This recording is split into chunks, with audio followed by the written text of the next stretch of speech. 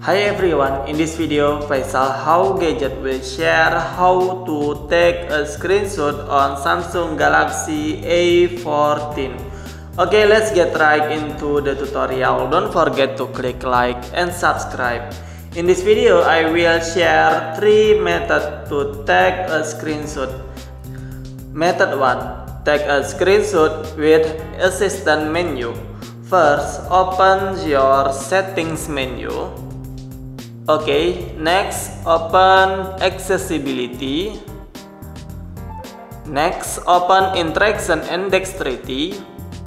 Yaps, in this assistant menu, we click enable, click allow. Yaps, assistant menu has been enabled.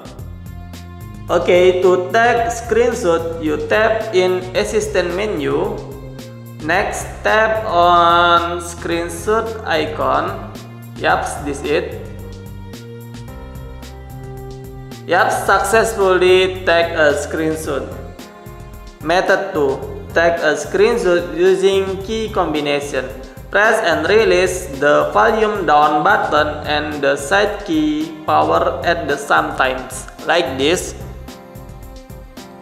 Yup, successfully. Again. Yap, successfully. Okay, method 3, take a long screenshot. Long screenshots can only be on the page, can be scroll up and down, like on this Google page. Okay. Okay, next we take a normal screenshot like this. Next, we click on this icon I click again. Yaps, next click back.